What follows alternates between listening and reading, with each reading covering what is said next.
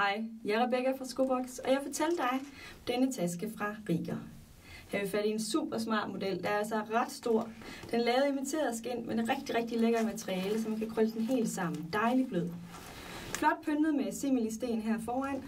Og så er der ellers go- to gode håndtag her, som hænger rigtig godt på skulderen, som har ordentligt fast i sin taske. Har man lyst til at have hænderne fri, medfølger der også en lang regulerbar skulderrem, man kan klikke af og på. For at komme ind i tasken åbnes den magnetlukning og lynlås. Og indeni kan vi se det her store kæmpe rum, der er herinde i. Der er to lynlås i den ene side, og den anden side er der små lommer til små ting. Har du lyst til at vide mere om tasken, så spørg mig eller kig forbi.